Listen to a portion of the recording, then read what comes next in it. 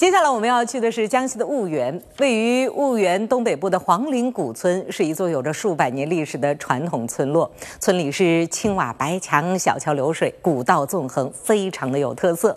每到秋天，当地的村民们还会在房前屋后、窗前屋顶晒出色彩斑斓的农作物，形成了独特的晒秋文化，非常出片儿哈。每年都会吸引不少游客慕名而来。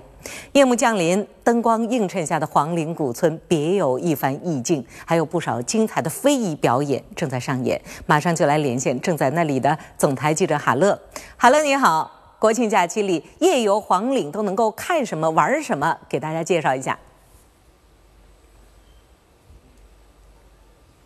好的，春燕，我现在呢就是在江西婺源黄岭的古村落之中。此时此刻，夜幕降临，灯光亮起。相比于白天，夜晚的黄岭古村呢，少了一份热闹，但多了一份韵味儿。那么，首先呢，我们先跟随着穿越机的镜头，一起穿梭在黄陵古村之中，带您一起来看一看。尽管现在天色已晚，我们可以看到夜幕下的黄陵古村呢，吸引着不少游客漫步其间。我们可以看到，在这些错落排布的村落街道之中呢，点点灯光让这座古村落呢更显得古朴典雅。而这些保存完好的徽派建筑，像白墙黛瓦、马头墙、飞檐翘角，每一处都透露着那种历史的厚重感。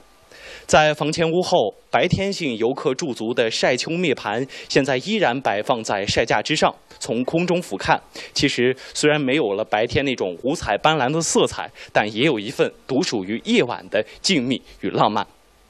而假期期间呢，游客漫步在古街的街道之上或者观景台，还能够看到远处梯田上所打造的夜景灯光秀，感受黄陵古村夜晚的惬意。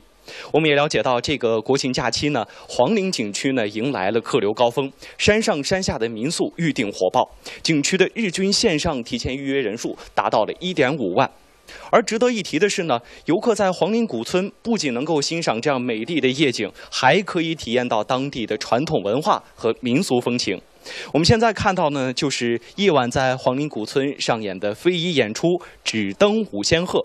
这种用竹做骨架、彩纸扎制的仙鹤，在表演者手中呢翩翩起舞、上下翻飞，也是引得游客掌声连连。而就在离五仙鹤不远处呢，我们可以看到另一种同样具有婺源当地特色的演出也正在进行。这种表演形式呢，属于灯彩的一种，叫做滚灯舞。最早呢，可以追溯到唐宋时期，形式呢也是各不相同，但大都有祈求国泰民安、人丁兴旺的意思。从高空俯瞰也是热闹非凡。我们也借此把这一份呃祝福隔着屏幕送给您。当然，除了这些极具韵味儿的夜景表演，在黄岭村的街道两旁还设有大大小小的店铺。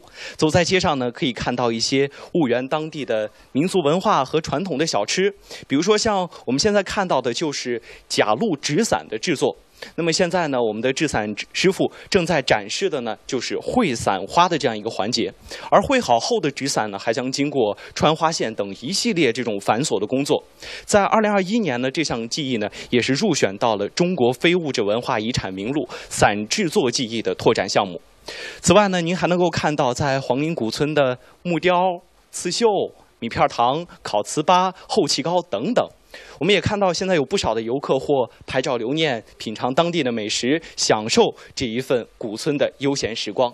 我们也欢迎大家有机会来到黄陵古村，白天呢逛古村赏晒秋，夜晚呢看夜景观表演。相信在这里一定能给您留下一份独属于自己的独特记忆。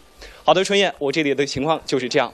嗯，谢谢海乐。看来这个古村落里的休闲时光相当的不错哈，非常有吸引力。谢谢海乐，东方时空，我们稍后继续。